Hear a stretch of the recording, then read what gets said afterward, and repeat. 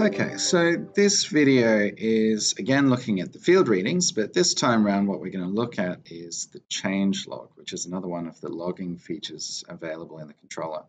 Now I've already gone online with our real field device, which is actually the demo box on my desk over here.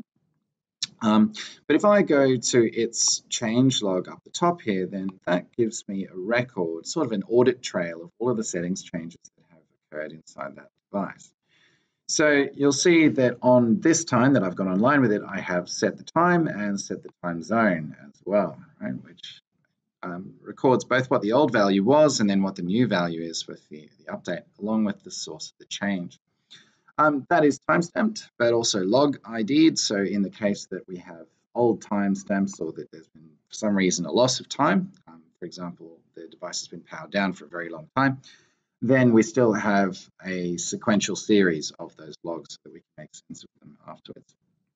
You'll also see that further down, um, if you make any changes on the HMI panel or through any other source, that that source of change will be recorded along with whatever the change was. So for example, here auto reclose was turned off and then turned from off to on. So we have an update of that status. And in fact, if I go over here, I can, for example, turn my cold load on, and that will come through in just a second. About once every five seconds, it um, updates. But while we're waiting for that one to come through, you'll be able to see that further down here, we've got multiple different sources of change. So for example, um, this change here of the um, was done by the system itself. There's a change from a logic source, more from HMI, so there's, there's quite a lot there um, in terms of variation and changes to what you can do.